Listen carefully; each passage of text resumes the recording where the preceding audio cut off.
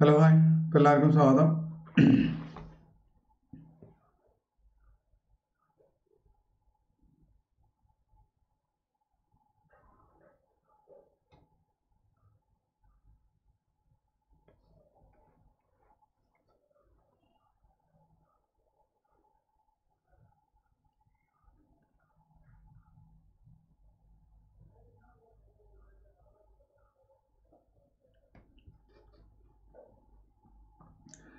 Yes hi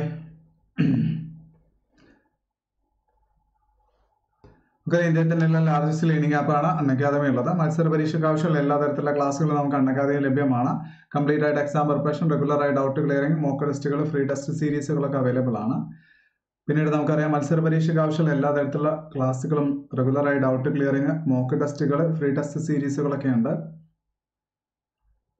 doubt clearing sessions ഒക്കെ ഉണ്ട്. Akshay hi പിന്നീട് ബാച്ച് കോഴ്സുകളൊക്കെ ഉണ്ട്. അപ്പോൾ പുതുതായിട്ട് രണ്ട് ബാച്ച് കോഴ്സും കൂടി ലോഞ്ച് ചെയ്തിട്ടുണ്ട്. പതിനെട്ടാം തീയതി ആരംഭിക്കുന്ന L D C sixty days അറുപത് ദിവസത്തിന്റെ ബാച്ച് കോഴ്സാണുള്ളത് പിന്നീട് നമുക്കറിയാം വൺ മന്തിന്റെ ഡിഗ്രി ലെവൽ റിവിഷൻ ബാച്ച് ആരംഭിച്ചിരിക്കുന്നുണ്ട്. ദൗത്യം എന്ന് പറഞ്ഞിട്ട്. ദിശ എന്ന് പറഞ്ഞ ഹൺഡ്രഡ് ഡേയ്സിന്റെ കോഴ്സുണ്ട് അതുപോലെ തന്നെ ജേതാവ് എന്ന് പറഞ്ഞിട്ടുള്ള വേറൊരു ബാച്ച് കോഴ്സും കൂടി ഓൾറെഡി സ്റ്റാർട്ട് ചെയ്തിരിക്കുന്നുണ്ട്.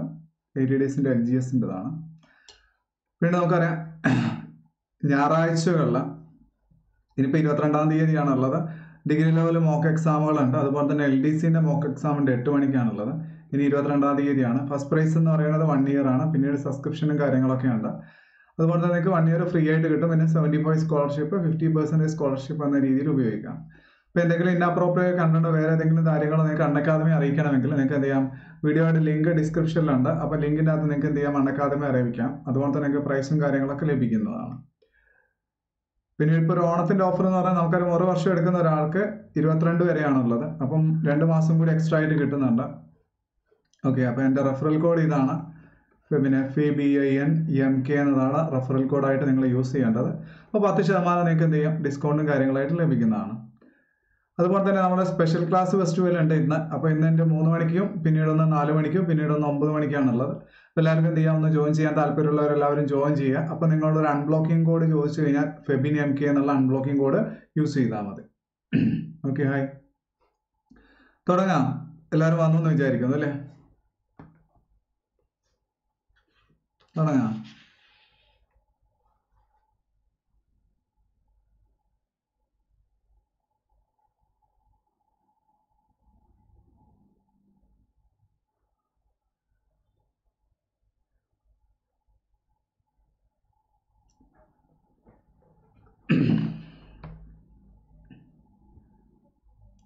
യെസ് ഇപ്പൊ ഇന്നത്തെ സ്പെഷ്യൽ ക്ലാസ്സിന് വന്നിട്ടുണ്ടായിരുന്നു ആരെങ്കിലും? ഓക്കെ ഇനിയിപ്പോൾ സ്പെഷ്യൽ ക്ലാസ്സിന് എല്ലാവരും ഒന്ന് ജോയിൻ ചെയ്യുക പിന്നീട് നിങ്ങളെ അഭിപ്രായങ്ങളൊക്കെ ഒന്ന് പറയുകയും ചെയ്യുക കേട്ടോ.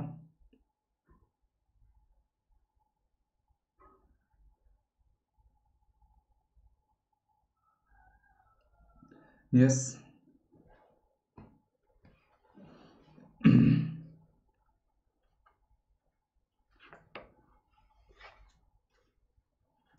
ഓക്കെ സ്റ്റാർട്ട് ചെയ്യാം. കവിയുടെ കാൽപ്പാടുകൾ ആരുടെ ആത്മകഥയാണ്? കവിയുടെ കാൽപ്പാടുകൾ എന്ന് പറയുന്നത് ആരുടെ ആത്മകഥയാണ്? കവിയുടെ കാൽപ്പാടുകൾ എന്ന് പറയുന്നത് ആരുടെ ആത്മകഥയാണ്? എല്ലാവരും ഒന്ന് കമന്റ് ചെയ്തോളൂ. കവിയുടെ കാൽപ്പാടുകൾ എന്ന് പറയുന്നത് ആരുടെ ആത്മകഥയാണ്? യെസ് ആ okay okay okay no problem കേട്ടോളൂ കേട്ടോ. കവിയുടെ കാൽപ്പാടുകൾ എന്ന് പറയുന്നത് ആരുടേതാണ്? ഒരു അര മണിക്കൂറേ ഉള്ളൂ കേട്ടോ. യെസ് ഓക്കെ അപ്പോൾ നമ്മൾ സ്പീഡായിട്ട് നോക്കുകയാണ്. പി കുഞ്ഞിരാമൻ നായർ അല്ലെ? പി കുഞ്ഞിരാമൻ നായർ എന്ന് ഓർത്തിരിക്കുക കേട്ടോ. പി കുഞ്ഞിരാമൻ നായർ. അടുത്ത ക്വസ്റ്റ്യൻ ഇതാണ്. ജാലിയൻ വാലാബാഗ് ഏത് സംസ്ഥാനത്താണ്? ജാലിയൻ വാലാബാഗ് ഏത് സംസ്ഥാനത്താണ്? ജാലിയൻ വാലാബാഗ് ഏത് സംസ്ഥാനത്താണ്? ജാലിയൻ വാലാബാഗ് ഏത് സംസ്ഥാനത്താണ്?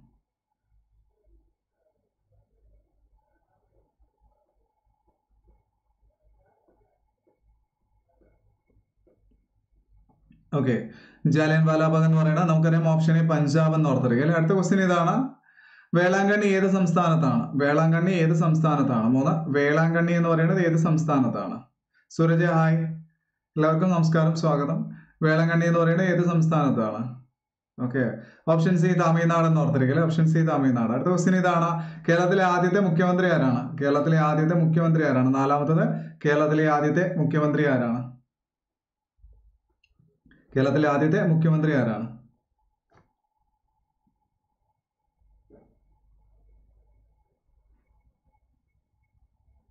Okay yes E M S അല്ലേ? Option C E M S എന്ന് ഓർത്തിരിക്കുക അടുത്ത ക്വസ്റ്റ്യൻ ഇതാണ്. മഹാഭാരതം രചിച്ചിരിക്കുന്ന ആരാണ്? അഞ്ചാമത്തെ ക്വസ്റ്റ്യൻ മഹാഭാരതം രചിച്ചിരിക്കുന്ന ആരാണ്? മുപ്പത് മിനിറ്റ് അൻപത് മുൻവർഷ പി എസ് സി ബുള്ളറ്റിൻ ആവർത്തന ചോദ്യങ്ങളിലെ പി വൈ ക്യു അതാണ് നമ്മളുടെ ഈ ഒരു സീരീസ് കേട്ടോ.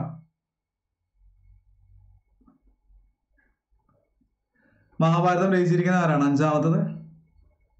ഓക്കെ ഓപ്ഷൻ ഡി വ്യാസൻ എന്ന് ഓർത്തിരിക്കല്ലേ ഓപ്ഷൻ ഡി വ്യാസൻ. അടുത്ത ക്വസ്റ്റ്യൻ ഇതാണ്. തിരുക്കുറൽ രചിച്ചിരിക്കുന്ന ആരാണ്? തിരുക്കുറൽ രചിച്ചിരിക്കുന്നത് ആരാണ്? തിരുക്കുറൽ രചിച്ചിരിക്കുന്നത് ആര്?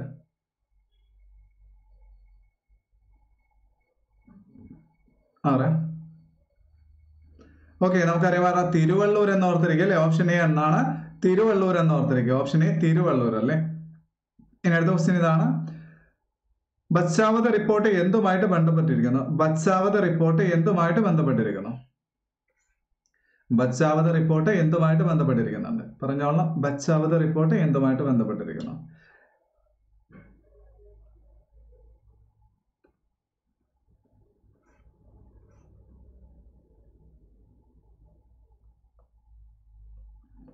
ഓക്കെ ഏഴാമത്തത്. പത്രപ്രവർത്തകരുടെ വേതനവുമായിട്ട് ബന്ധപ്പെട്ടാണ് കേട്ടോ. പത്രപ്രവർത്തകരുടെ വേതനവുമായിട്ട് ബന്ധപ്പെട്ടതാണ് എന്ത് പറയണത്? ബച്ചാവത് റിപ്പോർട്ട് കേട്ടോ. പത്രപ്രവർത്തകരുടെ വേതനവുമായിട്ട് ബന്ധപ്പെട്ട്. മൂകാംബിക ക്ഷേത്രം ഏത് സംസ്ഥാനത്താണ് സ്ഥിതി ചെയ്യുന്നത്? മൂകാംബിക ക്ഷേത്രം ഏത് സംസ്ഥാനത്താണ് സ്ഥിതി ചെയ്യുന്നത്? മൂകാംബിക ക്ഷേത്രം ഏത് സംസ്ഥാനത്താണ് സ്ഥിതി ചെയ്യുന്നത്?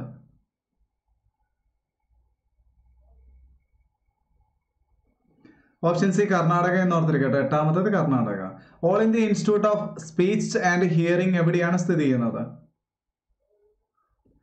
All India Institute of Speech and Hearing എവിടെയാണ് സ്ഥിതി ചെയ്യുന്നത്? ഒമ്പതാമത്തെ ക്വസ്റ്റ്യൻ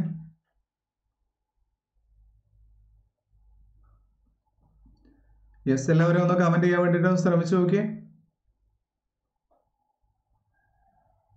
ഓപ്ഷൻ ബി എന്ന് ഓർത്തിരിക്കുക മൈസൂർ അല്ലേ? Option B Mysore. അടുത്തത് All India Institute of Astrophysics എവിടെയാണ്? ഇതിന്റെ അകത്ത് ഓപ്ഷൻ ഇല്ല. ആൻസർ എന്ന് പറയുന്നത് അത് ബംഗളൂരു ആണ് കേട്ടോ. ബംഗളൂരു ബംഗളൂരു ആണ് എന്തായിട്ടുള്ളത്? ഇതിന്റെ ആസ്ഥാനം എന്ന് ഓർത്തിരിക്കുക കേട്ടോ. All India Institute of Astrophysics എവിടെയാണെന്ന് ചോദിച്ചാൽ എന്ത് പറയണം? ഓപ്ഷൻ ബംഗളൂരു എന്ന് ഓർത്തിരിക്കുക. അടുത്ത ക്വസ്റ്റ്യൻ ഇതാണ്. ഇന്ത്യയിലെ ആദ്യത്തെ തദ്ദേശ നിശബ്ദ സിനിമ ഏതാണ്? ഇന്ത്യയിലെ ആദ്യത്തെ തദ്ദേശ നിശബ്ദ സിനിമ ഏതാണ്? ഇന്ത്യയിലെ ആദ്യത്തെ തദ്ദേശ നിശബ്ദ സിനിമ ഏതാണ്?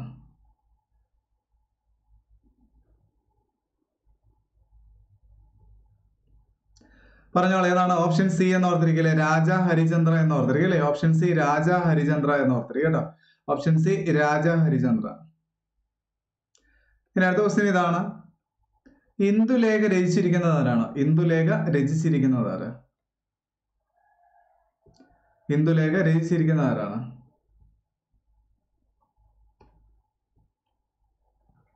ഇന്ദുലേഖ രചിച്ചിരിക്കുന്ന ആരാണ്? എല്ലാവർക്കും അറിയാം ആരാണ് ഓപ്ഷൻ എ എന്ന് ഓർത്തിരിക്കുക ചന്തമേനോ അല്ലെങ്കിൽ ഓപ്ഷൻ എ ചന്തമേനോ അടുത്ത ക്വസ്റ്റ്യൻ ഇതാണ് ഏതെല്ലാം ഭാഷകൾ ചേർന്നതാണ് മണിപ്രവാളം? ഏതെല്ലാം ഭാഷകൾ ചേർന്നതാണ് മണിപ്രവാളം?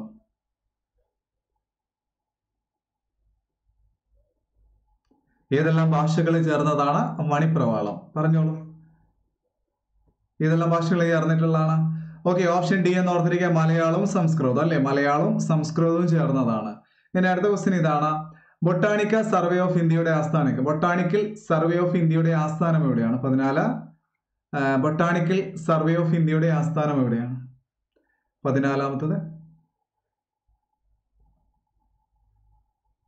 ഈ ക്ലാസ്സിലുള്ള ഇവിടെ തന്നെ പഠിച്ചിട്ട് പോകണം കേട്ടോ. ബൊട്ടാണിക്ക സർവേ ഓഫ് ഇന്ത്യയുടെ ആസ്ഥാനം എവിടെയാണ്? പതിനാലാമത്തത് എവിടെയാണ്? യെസ് കൊൽക്കത്ത എന്ന് ഓർത്തിരിക്കുക കേട്ടോ. ഓപ്ഷൻ ഡി കൊൽക്കത്ത എന്ന് ഓർത്തിരിക്കുക ഓപ്ഷൻ ഡി കൊൽക്കത്ത. അടുത്ത ക്വസ്റ്റ്യൻ ഇതാണ്. ഋതു സംഹാരം രചിച്ചിരിക്കുന്നത് ആരാണ്? ഋതു സംഹാരം രചിച്ചിരിക്കുന്നത് ആരാണ്? ഋതു സംഹാരം രചിച്ചിരിക്കുന്നത് ആരാണ്?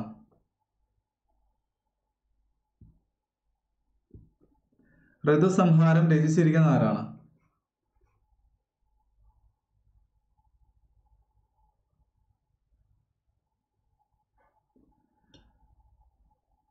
പതിനഞ്ചാമത്തെ ക്വസ്റ്റ്യൻ ആരാണ്? കാളിദാസനാണ്. കേട്ടോ ഓപ്ഷൻ എ കാളിദാസൻ എന്ന് ഓർത്തിരിക്കും അല്ലെ? അപ്പൊ ഋതുസംഹാരം രചിച്ചിരിക്കുന്ന ആരാണെന്ന് ചോദിച്ചാൽ എന്താ പറയണം? കാളിദാസൻ എന്ന് ഓർത്തിരിക്കുക അടുത്ത ക്വസ്റ്റ്യൻ ഇതാണ്. ഏത് തീര ഏത് നദിയുടെ തീരത്താണ് ആഗ്ര? ഏത് നദീ തീരത്താണ് ആഗ്ര സ്ഥിതി ചെയ്യുന്നത്? ഏത് നദീ തീരത്താണ് ആഗ്ര സ്ഥിതി ചെയ്യുന്നത്? ഏത് നദീ തീരത്താണ് ആഗ്ര സ്ഥിതി ചെയ്യുന്നത്? പറഞ്ഞോളൂ.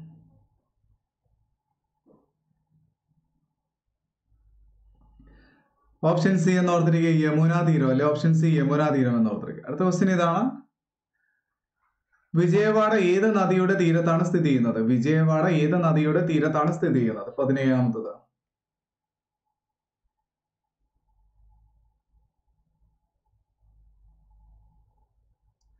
ഓപ്ഷൻ ഡി എന്ന് ഓർത്തിരിക്കുക കൃഷ്ണ നദിയുടെ തീരത്ത് അല്ലെ? ഓപ്ഷൻ ഡി കൃഷ്ണ നദിയുടെ തീരത്ത് എന്ന് ഓർത്തിരിക്കുക. ഇനി അടുത്തത് ഗുവാഹത്തി ഏത് നദിയുടെ തീരത്താണ് സ്ഥിതി ചെയ്യുന്നത്? ഗുവാഹത്തി ഏത് നദിയുടെ തീരത്താണ് സ്ഥിതി ചെയ്യുന്നത്? ഗുവാഹത്തി. പതിനെട്ടാമത്തത്.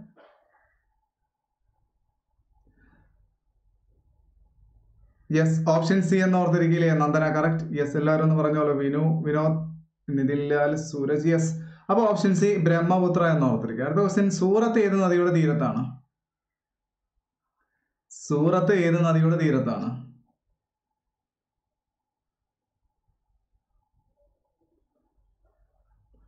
സൂറത്ത് ഏത് നദിയുടെ തീരത്താണ്?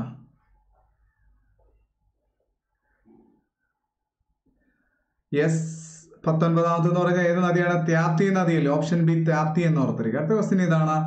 ജബൽപൂർ ഏത് നദിയുടെ തീരത്താണ്? ജബൽപൂർ ഏത് നദിയുടെ തീരത്താണ്? ഇരുപതാമത്തത്. ജബൽപൂർ ഏത് നദിയുടെ തീരത്താണ്?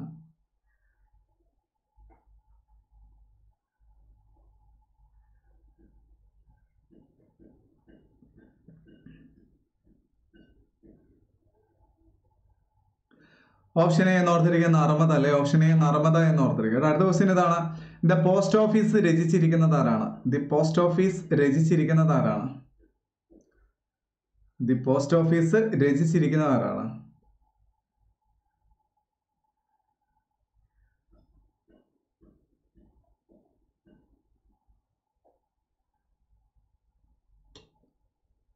പോസ്റ്റ് ഓഫീസ് രചിച്ചിരിക്കുന്നത് ഓപ്ഷൻ സി ടാഗോർ ആണ് കേട്ടോ. ഓപ്ഷൻ സി ടാഗോർ എന്ന് ഓർത്തിരിക്കുക അടുത്ത ക്വസ്റ്റ്യൻ ഇതാണ്. ഭ്രാന്താലയം രചിച്ചിരിക്കുന്നത് ആരാണ് ഭ്രാന്താലയം രചിച്ചിരിക്കുന്നത് ആരാണ് ഇരുപത്തി രണ്ടാമത്തെ ക്വസ്റ്റ്യൻ ഭ്രാന്താലയം രചിച്ചിരിക്കുന്നത് ആര്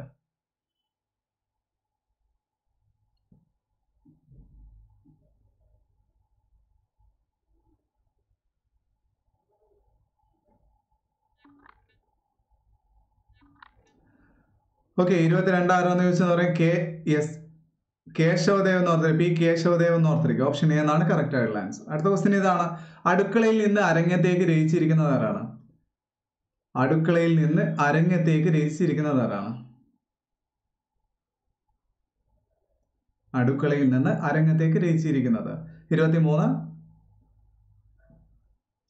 ഓപ്ഷൻ ബി എന്ന് ഓർത്തിരിക്കുക വി ടി ഭട്ടതിരിപ്പാട് അല്ലെ? Option B V T Bhattathiripad അടുത്തത് ഇന്ത്യയിൽ സായുധ സേനകളുടെ സുപ്രീം കമാൻഡർ ആരാണ്? ഇന്ത്യയിലെ സായുധ സേനകളുടെ സുപ്രീം കമാൻഡർ ആരാണ്? ഇന്ത്യയിലെ സായുധ സേനയുടെ സുപ്രീം കമാൻഡർ ആരാണ്? ഇരുപത്തിനാലാമത്തത്.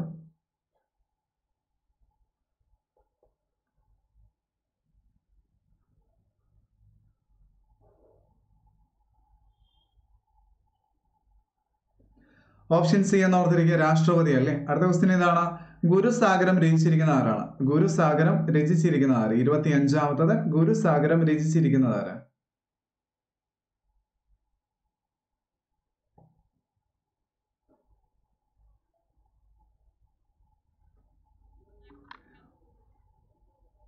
ഗുരുസാഗരം രചിച്ചിരിക്കുന്ന ആരാണ്? ഒ വി വിജയനാണ് കേട്ടോ ഓപ്ഷൻ ഡി എന്ന് ഓർത്തിരിക്കുക. O V Vijayan. Option D O V Vijayan. അടുത്ത ക്വസ്റ്റ്യൻ ഇതാണ് നൈലിന്റെ ദാനം എന്നറിയപ്പെടുന്ന രാജ്യം ഏതാണ്? നൈലിന്റെ ദാനം എന്നറിയപ്പെടുന്ന രാജ്യം ഏത്? എല്ലാവർക്കും അറിയണം സിമ്പിൾ ക്വസ്റ്റ്യൻ അല്ലേ? ഓക്കെ അതോടെ ഞാൻ ആൻസർ പറയാം. ഓപ്ഷൻ സി ഈജിപ്ത് അല്ലേ? ഓപ്ഷൻ സി ഈജിപ്ത് എന്ന് ഓർത്തിരിക്കുക. Option C Egypt. അടുത്ത ക്വസ്റ്റ്യൻ ഇതാണ്. പുരാണ പ്രകാരം കേരളത്തെ കടൽ മാറ്റി സൃഷ്ടിച്ചത് ആരാണ്? പുരാണ പ്രകാരം കേരളത്തിന്റെ കടൽ മാറ്റി സൃഷ്ടിച്ചിരിക്കുന്നത് ആരാണ്? ഇരുപത്തേഴ്.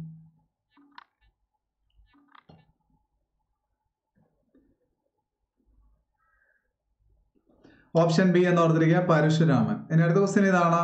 മാൽഗുഡി ഡേയ്സ് രചിച്ചിരിക്കുന്നത് ആര്? മാൽഗുഡി ഡേയ്സ് രചിച്ചിരിക്കുന്നത് ആരാണ്? ഇരുപത്തി എട്ടാമത്തത് മാൽഗുഡി ഡേയ്സ് രചിച്ചിരിക്കുന്നത് ആരാണ്?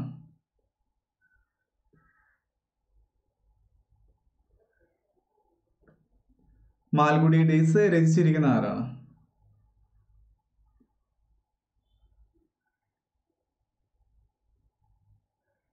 ഇരുപത്തി എട്ടാമത്തത് ഓക്കെ ഇത് ചെറിയൊരു കണക്ഷൻ വരുന്നുണ്ട്. ആർ കെ നാരായണനാണ് കേട്ടോ. ആർ കെ നാരായണനാണ് ഓപ്ഷൻ സി കെ നാരായണ അല്ല ആർ കെ നാരായണൻ എന്ന് ഓർത്തെടുക്കുക അടുത്ത ക്വസ്റ്റ്യൻ ഇതാണ്. ആൽഗകൾ എവിടെ കാണപ്പെടുന്നു? ആൽഗകൾ എവിടെ കാണപ്പെടുന്നു? ഇരുപത്തി ഒമ്പത് ആൽഗകൾ എവിടെ കാണപ്പെടുന്നു?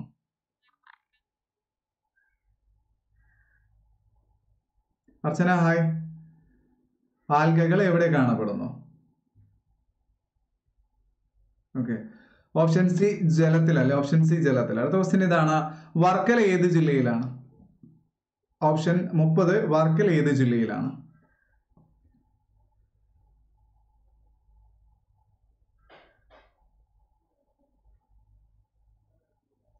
ഓപ്ഷൻ എ തിരുവനന്തപുരം ജില്ല കേട്ടോ. ഓപ്ഷൻ എ തിരുവനന്തപുരം ജില്ല. അടുത്തത് സലീം അലി എന്ന പേര് ഏത് നിലയിലാണ് പ്രസിദ്ധം? സലീം അലി എന്ന പേര് ഏത് നിലയിലാണ് പ്രസിദ്ധം?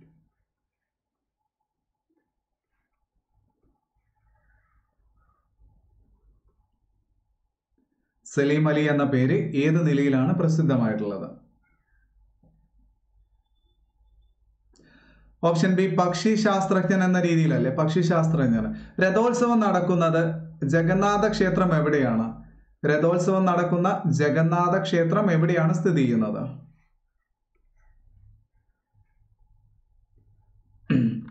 രഥോത്സവം നടക്കുന്ന ജഗന്നാഥ ക്ഷേത്രം എവിടെയാണ് സ്ഥിതി ചെയ്യുന്നത്? എല്ലാവർക്കും അറിയാം മുപ്പത്തി രണ്ടാമത്തെ ക്വസ്റ്റ്യൻ എവിടെയാണോ ചോദിച്ചെന്ന് പറയണം? ഓപ്ഷൻ ഓപ്ഷൻ ബി പുരി എന്ന് ഓർത്തിരിക്കാം ഗാനയിലെ സ്വാതന്ത്ര്യ പ്രസ്ഥാനത്തിന് വേണ്ടിയിട്ട് സ്വാതന്ത്ര്യത്തിന് വേണ്ടിയിട്ട് പ്രവർത്തിച്ചിരുന്ന വ്യക്തി ആരാണ്? മുപ്പത്തി മൂന്ന് ഗാനയിലെ സ്വാതന്ത്ര്യ പ്രഖ്യാപനത്തിന് വേണ്ടിയിട്ട് പ്രവർത്തിച്ചിരുന്ന വ്യക്തി ആരാണ്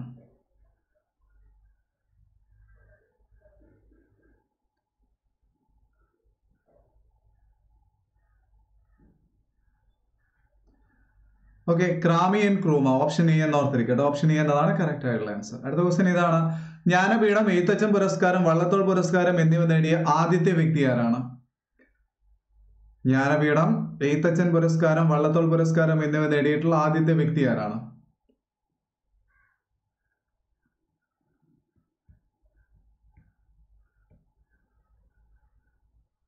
പറഞ്ഞോളൂ. Yes Thakazhi yes option B Thakazhi എന്ന് ഓർത്തിരിക്കും കേട്ടോ. യെസ് അഞ്ജു ഓപ്ഷൻ ബി ആണ് തകയ എന്ന് ഓർത്തിരിക്കും. അപ്പൊ ജ്ഞാനപീഠം എഴുത്തച്ഛൻ പുരസ്കാരം വള്ളത്തോൾ പുരസ്കാരം ഒക്കെ നേടിയിട്ടുള്ള ആദ്യത്തെ വ്യക്തി തകയി. ഇനി അടുത്ത ക്വസ്റ്റ്യൻ എന്താണ്? ഇംഗ്ലണ്ടിനെ പൂന്തോട്ടം എന്നറിയപ്പെടുന്ന ഏതാണ്?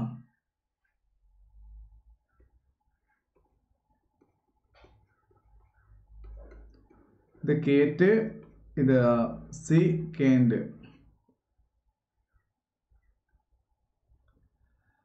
ഇത് സി ആണ്.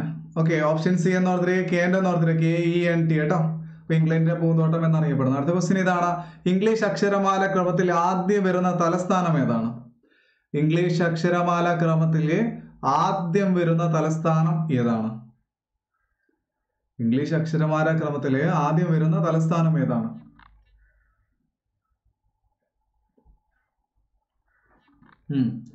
ഓപ്ഷൻ ബി എന്ന് ഓർത്തിരിക്കുക അബുദാബിയാണ് കേട്ടോ? അക്ഷരമാല കലത്തിൽ ആദ്യം വരുന്ന ഏതാണ് ചോദിച്ചെന്ന് പറയണം? അബുദാബി എന്ന് ഓർത്തിരിക്കുക. അടുത്ത ക്വസ്റ്റ്യൻ ഇതാണ്. ഉറുമ്പിന്റെ ഉറൂബിന്റെ യഥാർത്ഥ പേരെന്താണ്? ക്വസ്റ്റ്യൻ എപ്പം വായിക്കുമ്പോൾ തെറ്റിപ്പോ കേട്ടോ. ഉറൂബിന്റെ യഥാർത്ഥ പേര് എന്താണ്? ഉറൂബിന്റെ യഥാർത്ഥ പേരെന്താണ്?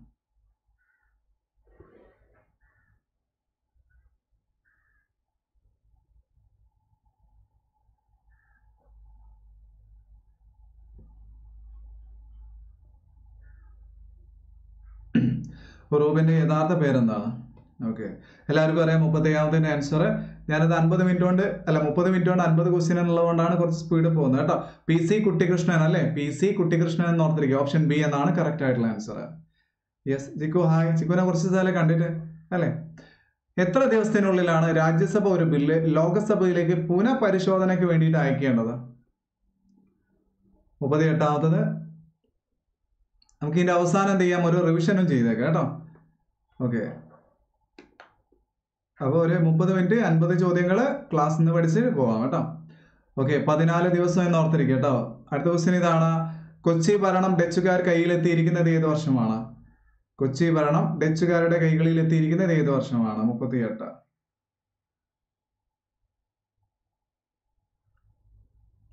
ഓക്കെ എ ഡി ആയിരത്തി അറുന്നൂറ്റി എസ് ഓപ്ഷൻ എന്ന് ഓർത്തിരിക്കുക. എ ഡി ആയിരത്തി അറുന്നൂറ്റി അറുപത്തി മൂന്ന് കേട്ടോ. എസ് എ ഡി ആയിരത്തി അറുന്നൂറ്റി അറുപത്തി മൂന്ന് ഡെമ്മി എന്ന പദം ഏത് കായിക വിനോദവുമായിട്ട് ബന്ധപ്പെട്ടിരിക്കുന്നു? ഏത് കായിക വിനോദവുമായിട്ട് ബന്ധപ്പെട്ടിരിക്കുന്നു?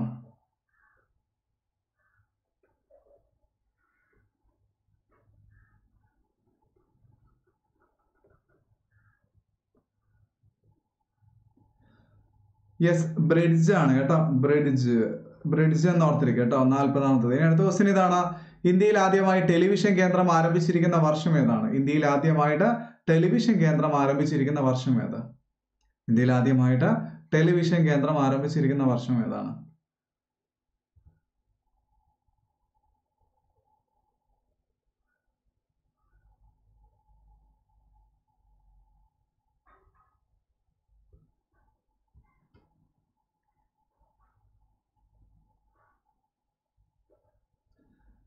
യെസ്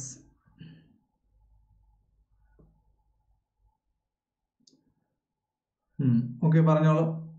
ഓക്കെ ആയിരത്തി തൊള്ളായിരത്തി അൻപത്തി ഒമ്പത് ഓപ്ഷൻ സി ആയിരത്തി തൊള്ളായിരത്തി അൻപത്തി ഒമ്പത് അടുത്ത ക്വസ്റ്റ്യൻ ഇതാണ്.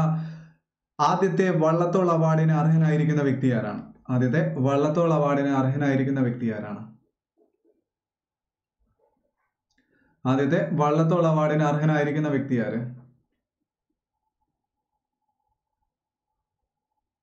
നാൽപ്പത്തിരണ്ട്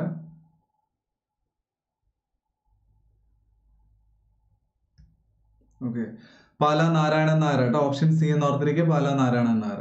അടുത്ത ക്വസ്റ്റ്യൻ ഇതാണ്. ഏറ്റവും വലിയ ആസ്ട്രോയിഡ് ഏറ്റവും വലിയ ആസ്ട്രോയിഡ് ഏതാണ്?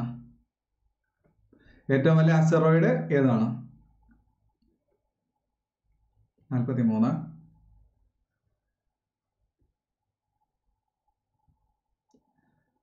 യെസ് ഓപ്ഷൻ ബി ആണ് എല്ലാവരും പറഞ്ഞിരിക്കുന്നത്. എന്താണ്? സിറീസ് എന്ന് ഓർത്തിരിക്കും ഇല്ലേ? ഇനി അടുത്ത ക്വസ്റ്റ്യൻ ഇതാണ്. ലിത്താർജ് ഏതിന്റെ അയിലാണ് ലിത്താർജ് ഏതിന്റെ അയിലാണ് ലിത്താർജ് ഏതിന്റെ അയിലാണ് നാൽപ്പത്തി നാലാമത്തത് ലിത്താർജ് ഏതിന്റെ അയിലാണ് ലിത്താർജ് എന്ന് പറയുന്നത് ഏതിന്റെ ഐരാണ്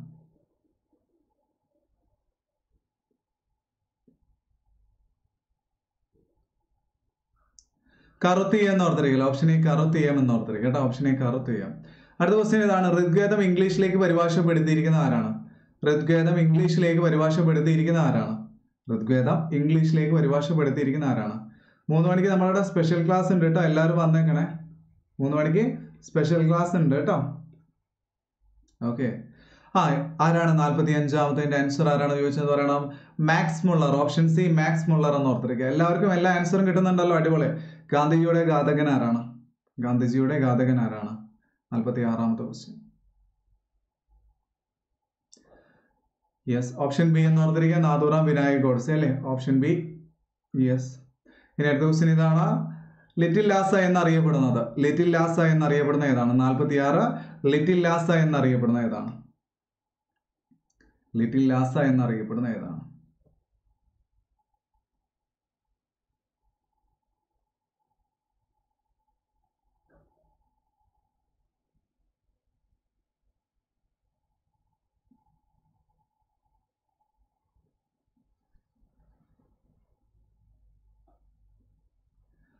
യെസ് ഏതാണ്? എല്ലാവരും പറഞ്ഞോളൂ. യെസ് ധർമ്മശാല എന്ന് ഓർത്തിരിക്കല്ലേ? Option B Dharamshala. നാൽപ്പത്തി ഏഴാമത്തെ ക്വസ്റ്റ്യൻ ഇതാണ് ഭൂമിയുടെ കോൾഡ് സ്റ്റോറേജ് എന്നറിയപ്പെടുന്ന വൻകര ഏതാണ്? ഭൂമിയുടെ കോൾഡ് സ്റ്റോറേജ് എന്നറിയപ്പെടുന്ന വൻകര ഏതാണ്? ഭൂമിയുടെ കോൾഡ് സ്റ്റോറേജ് എന്നറിയപ്പെടുന്ന വൻകര ഏത്? ഇതാണ് ഭൂമിയുടെ കോൾഡ് സ്റ്റോറേജ് എന്നറിയപ്പെടുന്ന വൻകര.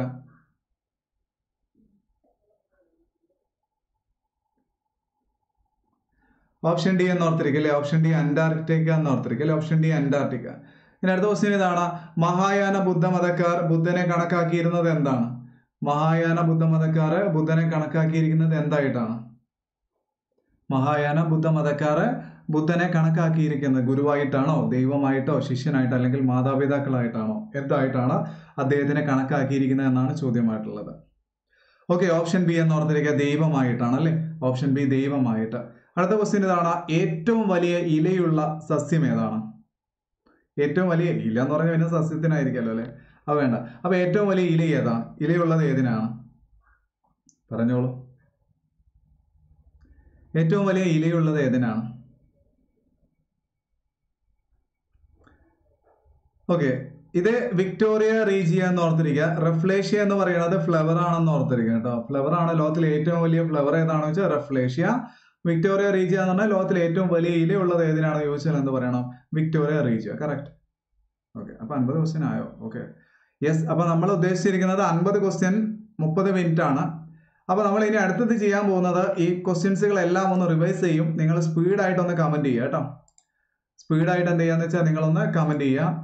ഓക്കെ അപ്പം ഇനി നിങ്ങൾ ഓപ്ഷൻ നോക്കരുത്. നിങ്ങൾ ഓർമ്മയിലുള്ള ആൻസറുകൾ എന്ത് ചെയ്യാം? സ്പീഡായിട്ട് ഒന്ന് കമന്റ് ചെയ്തിട്ട് ഈ ക്ലാസ്സിൽ നിന്ന് തന്നെ എല്ലാ കാര്യങ്ങളും പഠിച്ചിട്ട് പോവുക കേട്ടോ. കവിയുടെ കാൽപ്പാടുകൾ ആരുടെ ആത്മകഥയാണ്? കവിയുടെ കാൽപ്പാടുകൾ ആരുടെ ആത്മകഥയാണ്? ജാലിയൻ വാലാബാഗ് ഏത് സംസ്ഥാനത്താണ്? കമന്റ് ചെയ്യാൻ ബുദ്ധിമുട്ടുള്ളവർ എന്ത് ചെയ്യാന്ന് വെച്ചാൽ നിങ്ങൾ പറഞ്ഞെങ്കിലും നോക്കുക കേട്ടോ. വേളാങ്കണ്ണി ഏത് സംസ്ഥാനത്താണ്? വേളാങ്കണ്ണി ഏത് സംസ്ഥാനത്താണ്? കേരളത്തിലെ ആദ്യത്തെ മുഖ്യമന്ത്രി ആരാണ്? മഹാഭാരതം രചിച്ചിരിക്കുന്നത് ആരാണ്?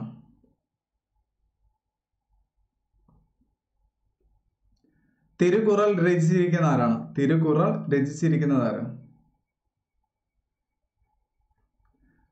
ബച്ചാവത റിപ്പോർട്ട് എന്തുമായിട്ടാണ് ബന്ധപ്പെട്ടിരിക്കുന്നത്? ബച്ചാവത റിപ്പോർട്ട് എന്തുമായിട്ടാണ് ബന്ധപ്പെട്ടിരിക്കുന്നത്?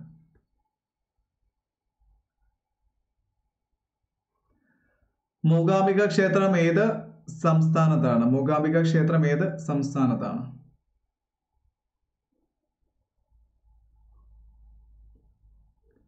All India Institute and Speech and Hearing എവിടെയാണ് സ്ഥിതി ചെയ്യുന്നത്? All India Institute and Speech and Hearing എവിടെയാണ് സ്ഥിതി ചെയ്യുന്നത്?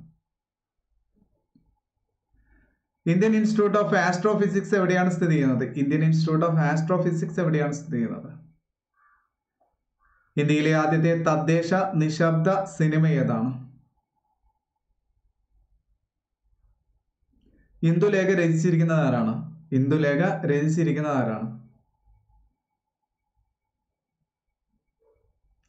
ഏതെല്ലാം ഭാഷകളിൽ ചേർന്നതാണ് മണിപ്രവാളം? ബൊട്ടാണിക്കൽ സർവേ ഓഫ് ഇന്ത്യയുടെ ആസ്ഥാനം എവിടെയാണ്? ഋതുസംഹാരം രചിച്ചിരിക്കുന്നത് ആരാണ്? ഋതുസംഹാരം രചിച്ചിരിക്കുന്നത് ആരാണ്? ഏതൊരു നദിയുടെ തീരത്താണ് ആഗ്ര സ്ഥിതി ചെയ്യുന്നത്? ഏതൊരു നദിയുടെ തീരത്താണ് ആഗ്ര? വിജയവാഡ ഏത് നദിയുടെ തീരത്താണ് സ്ഥിതി ചെയ്യുന്നത്? ഗുവാഹത്തി ഏത് നദിയുടെ തീരത്താണ് സ്ഥിതി ചെയ്യുന്നത്?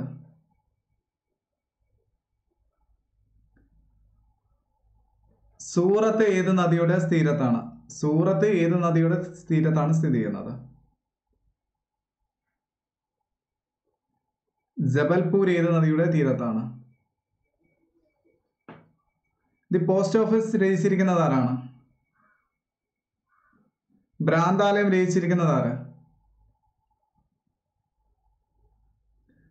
അടുക്കളയിൽ നിന്ന് അരങ്ങത്തേക്കുള്ള രചിച്ചിരിക്കുന്നത് ആരാണ് അടുക്കളയിൽ നിന്ന് അരങ്ങത്തേക്കുള്ള രചിച്ചിരിക്കുന്നത്.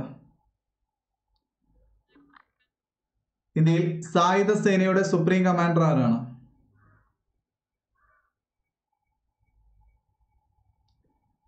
ഗുരുസാഗർ രചിച്ചിരിക്കുന്ന ആരാണ്? ഗുരുസാഗർ രചിച്ചിരിക്കുന്നത് ആര്? നൈലിന്റെ ദാനം എന്നറിയപ്പെടുന്ന രാജ്യം? പുരാണ പ്രകാരം കേരളത്തിന്റെ കടൽ മാറ്റി സൃഷ്ടിച്ചിരിക്കുന്നത് ആരാണ്?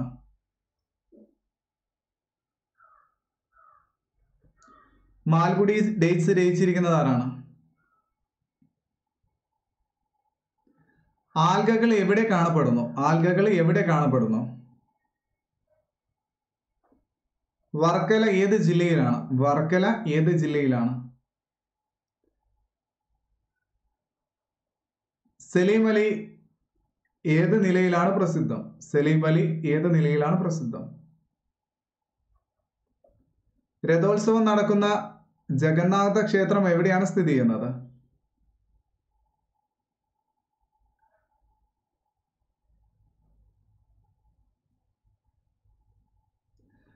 ഗാനയുടെ സ്വാതന്ത്ര്യ പ്രസ്ഥാനത്തിന് നേതൃത്വം നൽകിയിരിക്കുന്നത്. ജ്ഞാനപീഠം എഴുത്തച്ഛൻ പുരസ്കാരം വള്ളത്തോൾ പുരസ്കാരം നേടിയിരിക്കുന്ന വ്യക്തി. ഇംഗ്ലണ്ടിലെ പൂന്തോട്ടം എന്നറിയപ്പെടുന്നത്. ഇംഗ്ലീഷ് അക്ഷരമാല ക്രമത്തിൽ ആദ്യം വരുന്ന തലസ്ഥാനം ഏതാണ്?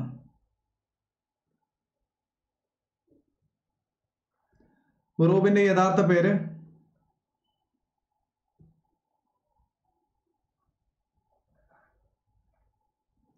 ലോകസഭയിൽ ഒരു ബില്ല് അയക്കുന്നത് പരി രാജ്യസഭയിൽ തിരിച്ചയച്ചു കഴിഞ്ഞാൽ രാജ്യസഭ അയച്ചു കഴിഞ്ഞാൽ എത്ര ദിവസത്തിന്റെ കൊച്ചി ഭരണം ഡച്ചുകാരുടെ കൈകളിൽ എത്തിയിരിക്കുന്ന ഏത് വർഷം? ഡെമ്മി എന്ന പദം ഏത് കായിക വിനോദവുമായിട്ട് ബന്ധപ്പെട്ടിരിക്കുന്നു? ഇന്ത്യയിൽ ആദ്യമായി ടെലിവിഷൻ കേന്ദ്രം ആരംഭിച്ചിരിക്കുന്ന വർഷം ഏതാണ്? ആദ്യത്തെ വള്ളത്തോൾ അവാർഡിന് അർഹനായിരിക്കുന്നത് ആരാണ്? ആദ്യത്തെ വള്ളത്തോൾ അവാർഡിന് അർഹനായിരിക്കുന്ന ആരാണ്?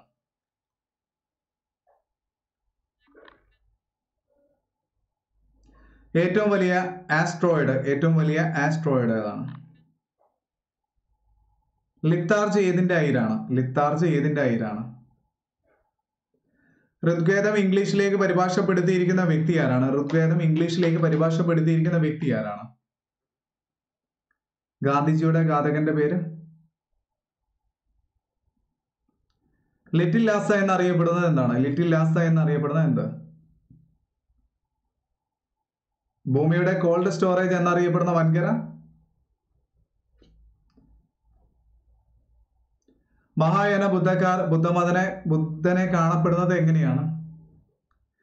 ഏറ്റവും അവസാനത്തെ ചോദ്യം നിങ്ങൾ അവസാനത്തെ ക്വസ്റ്റ്യനും പഠിച്ചു എന്ന് വിചാരിക്കുന്നു. ഏറ്റവും വലിയ ഇലയുള്ളത് ഏതിനാണ്? ഏറ്റവും വലിയ ഇലയുള്ളത് ഏതിനെയാണ്?